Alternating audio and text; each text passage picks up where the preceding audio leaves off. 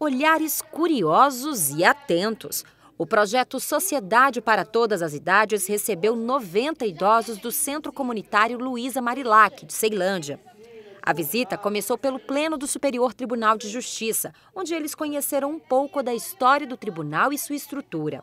Depois de visitar a Galeria dos Ministros, o grupo assistiu a uma palestra sobre saúde bucal na maior idade. Quando isso não é tratado logo, aí sim, aí isso já só o dentista que consegue cuidar, que a gente chama de periodontite. O objetivo do projeto é aproximar o STJ do cidadão, no caso do idoso, e a gente traz o idoso aqui sempre buscando uma, um assunto, um conteúdo que possa é, trazer benefícios a ele, buscando sempre o que esse público está precisando. E nós temos parceiros, parceiros da, da área de saúde, que vêm aqui é, fazer uma apresentação para ele, sempre uma apresentação nova.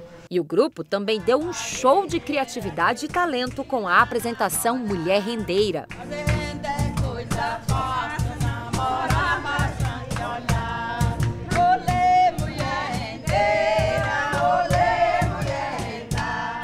Enquanto todos aproveitavam o som do repente, um grupo de mulheres fazia, na hora, trabalhos manuais, tudo com muito capricho.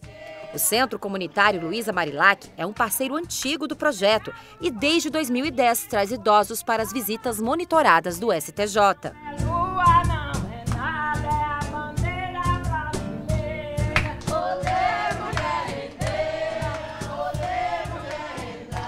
Todas os que já vieram falam muito bem que isso ajuda muito, principalmente por causa das palestras e além de conhecer muito aqui no STJ. E também ajuda até no, nos conhecimentos de básicos de saúde também, a qualidade de vida. Palestra, apresentação, visita ao espaço cultural, ufa, uma tarde movimentada. E no final, o que se vê são sorrisos e satisfação.